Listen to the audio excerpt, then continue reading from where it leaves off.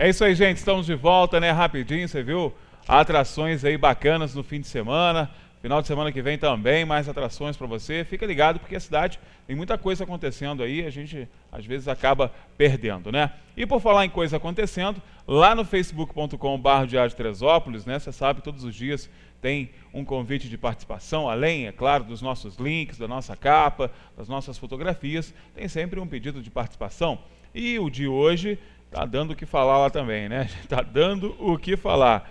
A gente está falando em relação a essas famosas é, retornadas né, que os motociclistas estão utilizando no canteiro central. Tem aqueles espaços ali que são dedicados aos cadeirantes, né, para que o cadeirante faça, né, atravesse de um lado ao outro da nossa avenida principal. E aí muitos desses motociclistas, aí, motociclistas não, né, esses motoqueiros aí irresponsáveis acabam fazendo aquilo ali de retorno, né? Falei, duas questões. Primeiro, que aquilo ali não é para passar moto. E segundo, que você, tá, tem, que, você tem que atravessar uma ciclofaixa, né, colocando o pessoal em risco para poder fazer essa manobra aí, sem contar o próprio pedestre também, que acaba sempre suscetível a isso. E a gente está perguntando o que, que, você acha disso. Você acha que os motoqueiros fazem isso? Né? O que, que você acha dessa atitude dos motoqueiros? Tem um monte de gente participando lá. Daqui a pouco eu vou ler algumas dessas participações e já vou adiantar aqui que o pessoal, gente, se eu fosse você que é motoqueiro, né? Não motociclista. Motociclista sabe e cumpre as regras. Mas você que é motoqueiro, ó, toma cuidado. Tem gente aqui que falou que se vê vai dar tapa, né? Então, cuidado, tá? Se eu fosse você, não dava mole não, senão você vai tomar um tapa na orelha aí. Olha só, gente, vamos para a imagem do dia? Eu vou fazer, antes de eu sentar lá com o Manderlei, Rica, coloca na tela aí a imagem do dia. Vai, bota aí grande para a gente ver qual é a imagem do dia de hoje. Abre aí na tela inteira. Eu já vi que a. É a reta, Vanderlei? Bom dia. Bom dia, Anderson. Vamos Bom dia, chefe. Você é a reta? É, né? Essa é a reta dos anos Essa 20. Essa ficou fácil por causa do dedo de Deus lá atrás, né, Vanderlei? Deus entrega fácil, né? Essa é a reta dos anos 20, quando estava sendo construído ali ao lado da estação, do que seria a estação, o prédio dos Correios. O, o, prédio dos Correios veio antes da estação da Vaza, né? Que depois foi nesse local construído ah, é, o, o, Colégio Estadual. O, prédio dos Correios vem antes é, da estação? Anos, é, a estação é de, 20, é de 1926, embora alguns historiadores tenham dito que ela é de 29, na verdade era de 26, foi inaugurada 26. em 26 mas é, o prédio do Correio é de 23, 24, então é de um pouquinho Olha, antes. Né? É, e está ali a obra da, à direita, a construção do prédio dos Correios, né? Muita gente acredita, inclusive, que o prédio do Correio fazia parte do complexo ali da estação, né? E na verdade é, na não verdade, era. Exato, na verdade o, o prédio, é de, o terreno é de, o, o, prédio do Correio é de antes. Inclusive esse prédio dos Correios já está numa propriedade que era de fato dos Correios, porque depois da construção do prédio dos Correios que foi é, desapropriada a área de terra desde o supermercado Regina ali, aquele envidraçado, aquele Sim. novo, até, até próximo ao fórum. Foram dois terrenos desapropriados pela rede para fazer trazer então a estação para ali e fazer a linha do trem, né? Fazer, é porque, porque tinha o, esse espaço, né? O trem passava isso. ali ó, na altura do atravessava a rua na altura do posto de gasolina e seguia por trás daquele centro comercial, da igrejinha, sim, sim. Eh, do, do, da, da, loja de rações, atrás de correio, até chegar no estadual. É, e o, um outra, por trás ali. Tá outra curiosidade também do pessoal relacionada à estação, né? A gente sempre falava isso, que a, muita gente achava que, que, o trem passava pela frente da estação, né? Como se fosse na frente do estadual ali, mas na verdade ele vinha por trás, é, né? Como acontece no, em todas as estações. O pessoal é assim. apiava do trem nos fundos, né? Como é, na verdade, a maioria das estações é assim. É, a maioria né? é, né? Você vai em Minas Gerais, lá as estações são todas, né? Você entra e o trem está ao fundo, né? Não tem jeito. Tem mais uma foto aí, Rica? Bota pra gente aí, por favor. Essa fotografia é, agora mostra, já dá de novo, está lá a Cordilheira da Serra dos Ogros, é. um pouquinho, parece um pouquinho mais distante. Essa aí é a Avenida Defo Moreira, mas o curioso dessa imagem é esse cedro. Esse é o tal cedro centenário que havia na esquina do Império.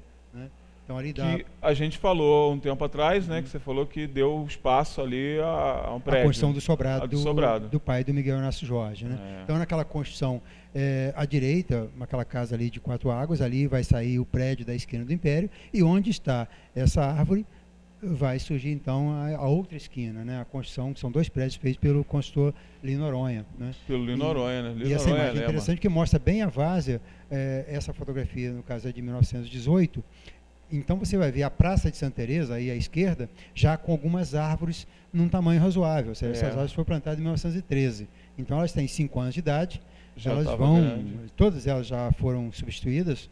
Dessas todas da praça, sobrou apenas aquela árvore centenária, a gente está falando da árvore esquerda, né? E esse cedro rosa maravilhoso aí foi tema de polêmica, né? A, a, na época, quando o dono do terreno resolveu fazer ali uma casa, quando foi sair o sobrado, uhum. É claro que saíram as pessoas em defesa de não derrubar a árvore. Ih, mas já né? tinha esses movimentos tinha lá? confusão. Gente, que, 1900 e quanto? 1900 Isso em 1920, né? 1920 já tinha ativista ecológico lá. E os nossos ativistas não eram qualquer coisa, não. Ah, eram ativistas? Fala, então, quem saiu em defesa dessa árvore foi o Alberto de Oliveira, jurista, poeta, jurista. Né, um grande nome da literatura brasileira, um grande nome da justiça brasileira, inclusive. Ele morava em Petrópolis e estava sempre por Teresópolis, no seu círculo de amizades que, tinha, que havia por aqui. Então, ele saiu em defesa desse de não derrubar esse cedro rosa e conseguiu, inclusive, o tombamento do terreno. Olha. O Estado teria adquirido esse terreno para manter o cedro e fazer, na sombra desse cedro, uma escola estadual. Uma escola. Né?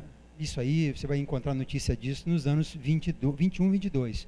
E 22 não teve jeito, derrubaram o cedro e ficou por isso mesmo. Botou né? para baixo, não teve jeito, né? Esse relato você encontra, existe pouca coisa no jornal sobre isso, mas há uma crônica do Lima Barreto, Olha, Lima aí, Barreto. aí vem o Lima Barreto para citar o nosso cedro, né? Ele vai comentar sobre a luta do Alberto Oliveira em Teresópolis, onde ele está às turras com um, um, turco que está querendo de, derrubar uma árvore para fazer mais uma, uma casa. casa. de aluguel. Então ele, a confusão era essa. Então tem uma crônica muito deliciosa, uma crônica muito interessante do Lima Barreto, falando do cedro de Teresópolis e da luta em glória do Alberto Oliveira com o turco. Com o turco, né? que seria o pai do Miguel Inácio Jorge. Gente, parece que, a história, parece que a gente está vendo um problema agora, nosso. Né? A história do Brasil, Teresópolis está no contexto da história tá, do Brasil. Né? Tá. Ou seja, nós tivemos um período, ainda nós somos das três cidades serranas, das três cidades serranas, a mais próxima do Rio de Janeiro. A mais, a mais, conexa, a mais, né? a mais fácil de se chegar. É. Né? E o bairro mais nobre, talvez, do Rio, certamente, que pode vir a ser Teresópolis, se você tiver essa preocupação claro. com manter uma cidade agradável, agradável aos olhos e agradável para a qualidade de vida. Né? E naqueles anos, quase 100 anos atrás, havia uma interação muito grande é, das pessoas mais cultas, das pessoas mais envolvidas, das autoridades com Teresópolis. Né? Então, Teresópolis era o local de, de passeio é, dos grandes nomes é, nacionais. Né? Então você vai encontrar aqui presidentes, governadores, poetas, era o, era o recanto onde as pessoas vinham para descansar e para buscar qualidade de vida. E, e, o que eu sempre falo também, né, Vanderlei, nessa época, esses intelectuais que estavam muito à frente do tempo deles, né, e por isso foram imortalizados por suas obras, todas essas pessoas já tinham uma preocupação que é, que é latente na nossa sociedade e que foram perdidas nos últimos anos, nas últimas décadas, que é realmente resguardar essa nossa qualidade de vida, resguardar essa, essa nossa capacidade de sermos uma, uma cidade atraente por suas características bucólicas, é. né, tradicionais, tranquilas. Né? Então, quando a gente fala que o gestor público, né, que o poder público, que os vereadores, que a sociedade civil organizada precisa ter essa questão da preservação da nossa identidade cultural e histórica como prioridade, é por isso que a gente está falando que essa luta não é não nasceu agora, né, Vanderlei? Essa luta é o, remonta lá a 1920. O Lima Barreto, inclusive, o texto dele é muito interessante porque ele fala de que naqueles anos, isso aí menos de 100 anos atrás, nós falamos de 1920, é, ele fala que em Teresópolis ainda havia uma característica do Rio Antigo. Aí ele, o Rio, o Lima Barreto foi um dos, dos, autores brasileiros que mais comentou sobre o Rio Antigo. Sobre o Rio Antigo ele sim. falava do Várias cotidiano, né? Inclusive. As crônicas dele falavam, é crônica, uhum. era, ele era um repórter do tempo dele. E ele fala que o Rio estava perdendo essa coisa que ainda havia em Teresópolis, que antes o rio era de mata, e antes as pessoas no rio cultivavam o hábito de quintas, de chácaras, sim. É, de casas em centro de terreno, e isso tudo está acabando no rio falava o, o Lima, o Barreto, Barreto lá em 1920, né? E, e, dizendo que isso havia ainda em Teresópolis, que o charme de Teresópolis eram as chácaras, eram as, as quintas, eram as vilas, que é, nós estávamos falando, 1920 é o período das vilas em Teresópolis. Então, e isso aí, esse saudosismo do, do Lima com relação ao rio que não havia mais, do rio dele que não havia mais e que havia ainda em Teresópolis. Hoje nós olhamos para trás e vemos também que nós perdemos isso em Teresópolis. Né? Hoje a cidade está quase toda ela concretada, né? As, as pessoas, não, mesmo as pessoas que podem ter um bom jardim, a, a não verdade, cultivam um bom jardim. A verdade é que a gente tem uma cidade hoje de Baixada Fluminense, praticamente, né? Só você ver o centro da cidade aí, com ambulante, com loja popular, com caixa de som na calçada, né? E com a despreocupação do bonito, né? O belo, Sim. ele faz bem, faz bem aos olhos, ele faz bem à alma e ele te, ele te melhora, né? Então você, você olhar para um, para uma coisa bonita, mesmo que não seja sua, um jardim bonito, uma fachada bonita, aquilo te dá uma te dá uma qualidade de vida, né? te dá uma, uma perspectiva de que você está morando num local progressista, num local bonito, é. e aquilo te melhora. E o feio, ele te deprime, ele te impede de produzir. Realmente você conviver com uma cidade te limita muito e isso é muito ruim para uma cidade que quer se desenvolver e uma cidade que quer viver do veraneio, do, veraneio. do turista, do visitante. Né? Então nós e precisamos aí, melhorar a qualidade de vida para aumentar, inclusive, melhorar a economia local. Melhorar a economia. E tem muita gente que, esses idiotas que têm opinião para tudo no Facebook, né, que vão para o Facebook quando a gente levanta questões como essa e dizem ah, esse é um discurso elitista, né? Quer transformar a cidade de Teresópolis numa cidade elite. Não é isso. É, é não deixar a nossa cidade virar uma Baixada Fluminense. Não tem nada contra a Baixada Fluminense, mas a característica de formação da Baixada Fluminense é completamente diferente da nossa. Como ele está falando, a nossa composição histórica traz, remonta a grandes intelectuais, as pessoas vultuosas, fomos capital, né? Fomos é, referência política. Não é a construção histórica da Baixada Fluminense, que tem uma relação ali com o trabalhador braçal, com a coisa das fábricas, né, da, enfim, do subemprego. É uma característica de formação, não tem nada contra isso. Mas a gente não pode deixar transformar a nossa realidade, que é uma realidade de uma cidade diferenciada e bonita, né, já foi um dia, continua sendo, não por esforço das pessoas, né? pelo contrário, porque o esforço é torná-la cada vez mais feia, é, é o que parece né, que tem sido feito, não é um discurso elitista, né? pelo contrário, é um discurso de preservação né, e de manutenção da nossa. Mas essa questão do bonito não está ligado necessariamente à elite. Nós temos uma crônica aqui, em 1944, quando foi derrubado um casarão que havia ali, onde está hoje uh, o Instituto Médico Legal, Sim. onde era a antiga delegacia. Ele tinha um delegacia. casarão para abrir aquele taumaturgo, tinha um casarão uhum. ali, era chamado de Casa Fantasma. A casa e... do piano tocava sozinho? A casa do piano oh, tocava tá sozinho. Tem uma história interessante sobre isso.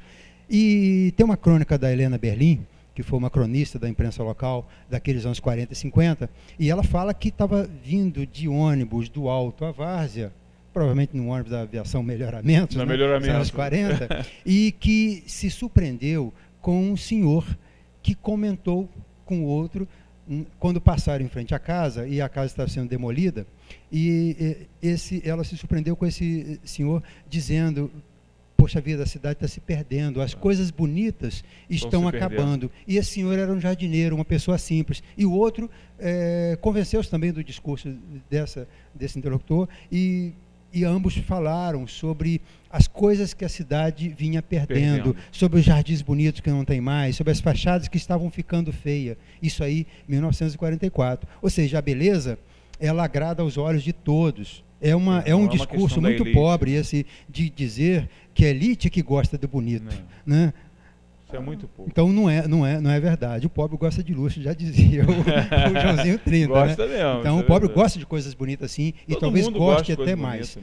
Só que você se acostuma com o feio, né? O Capiba dizia que quando disseram perto dele que é, quem gosta de de osso é cachorro? Ele disse, não, o cachorro adora carne. Ele come osso é porque dão isso a ele, né? Então nós comemos osso hoje porque é o que nós estamos nos dando, né? ofereceram. Né? Estão nos oferecendo, porque a gente gosta mesmo é de bife, é de filé, é de coisa gostosa, de coisa agradável, Temos né? que lutar por isso, Mas infelizmente, e é, para isso a gente gosta, é esse querer, a gente nunca pode deixar de gostar disso, porque a gente tem que continuar querendo isso. A gente, a gente não pode se conformar com a cidade feia, desorganizada. A gente tem que lembrar dessa cidade bonita e querer de novo essa cidade bonita, porque é, é isso que nos faz bem.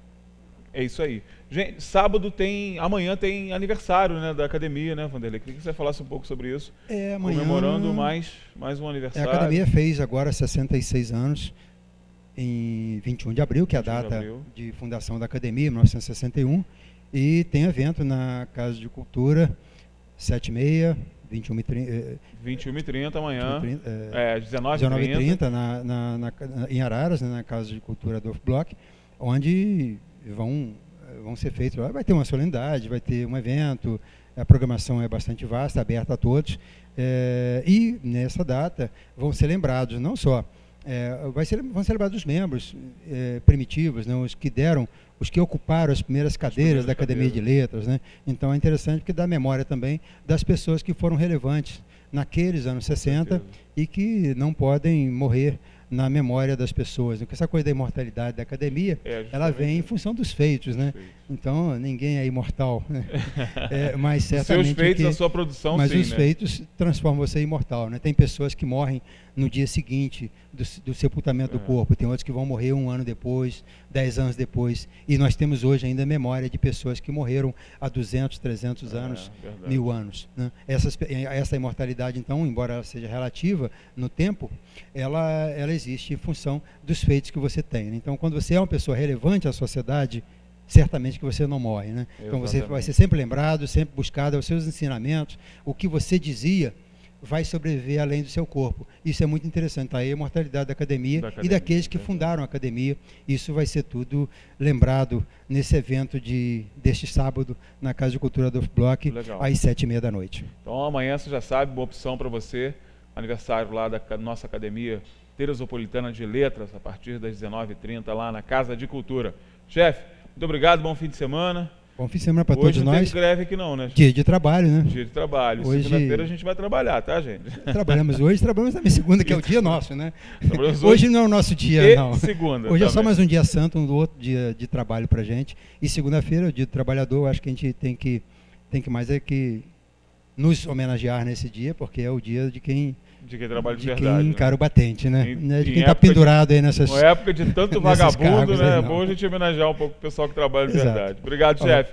Bom, vamos para o intervalo comercial rapidinho, daqui a pouco eu estou de volta. O doutor Fred Maia já está aí, gente. Vamos falar desse negócio de trabalho aí da greve. Será que o Fred Maia fez greve hoje? Será que ele apoia essa greve? Vamos perguntar a ele, daqui a pouco a gente está de volta.